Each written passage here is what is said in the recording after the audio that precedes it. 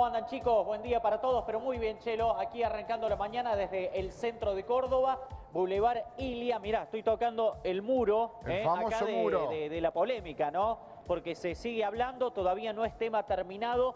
¿Qué va a pasar con, con este muro? ¿Se va a derrumbar? ¿Se va a romper?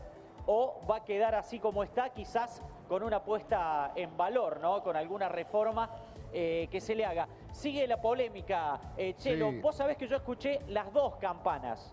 Sí. Y, y voy a ser tibio, eh, en mi opinión. eh, Ajá. perdón. ¿Por qué? Pero vos sabés que escucho un argumento y me convence. Sí. El de la municipalidad me convence. Sí. Escucho el otro argumento de la oposición, si querés, y también me convence. Entonces, viste, Eh, no, no sé, no sé qué va a pasar. Eh, recordemos, Sí. bueno, tiene 83 años, eh, este muro acá donde estamos, Chelo.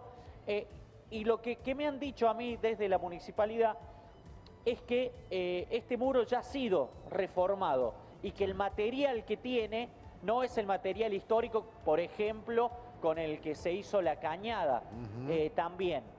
No sé si será así.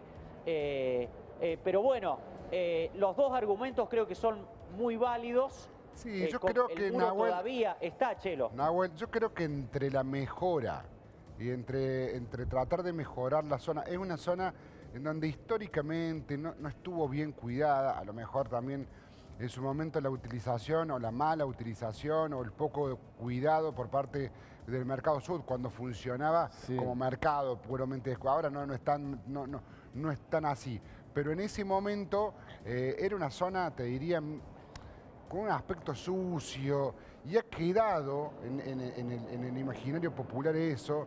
Y vos pensás que por más que lo hayan arreglado las veces que lo han arreglado, sigue teniendo ese aspecto, Nahuel, Sí. me parece. No, no sé, vos qué decís, Germán. Sí, me parece lo Sí, sí, mismo. sí, es verdad.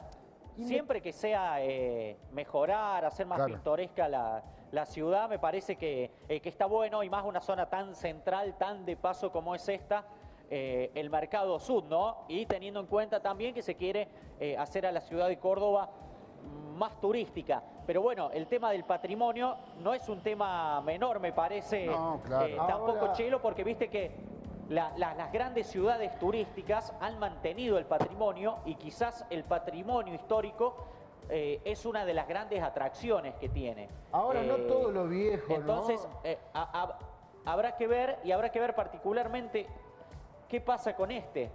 Eh, este muro, digo, si, si lo sacan, cambia mucho la, eh, la vista, te, te entorpece mucho la, la, la Sí, estética uno, de uno la tiene obra. la si querés. sensación, Nahuel, uno tiene la sensación de que no todo muro tiene una historia para contar. Claro, lo que estoy viendo es que no se trata de un muro tan importante con, con valor patrimonial. Si lo hubiera hecho un arquitecto ultra famoso, tendría algunas características Si particulares. fuese un pero muro que para una resistencia eh, claro, español, político, o sea, histórico. claro, o que desde ese muro estaban en el cordobazo de un lado uno y del otro. O sea, no todo muro tiene, no es poner el ladrillo visto en la catedral, que ahí sí ponemos todo el grito en el cielo. Es un muro. que- Incluso no es lindo, tampoco. claro, o sea, es discutiblemente lindo incluso. Pero bueno, Nahuelito, contame, eh, ¿hay plata en tu zona? ¿Hay plata en los cajeros? Te, te muestro, eh, Chelo, ya nos vamos a hacer un recorrido eh, por, por los cajeros aquí de- del centro de Córdoba, eh, a ver si tienen plata todavía. Mientras te muestro cómo está el tránsito Dale. a esta hora. Mira, estamos acá, Boulevard Ilia, entre Buenos Aires y Tuzangó. eh, movimiento normal a esta hora. Es fluido siempre a esta hora el tránsito. Muchos autos, pero fluido. Ya dentro de un ratito vamos a ver eh, cómo sigue.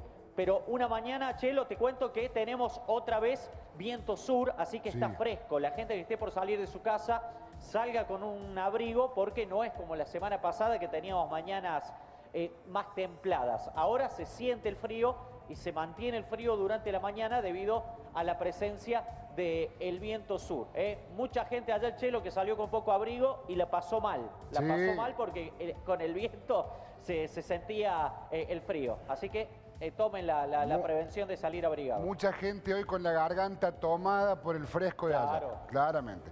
Nahuel, excelente laburo. Un saludo grande. Exactamente. Exactamente, Chelo. Saludo grande. Gracias, Nahuel.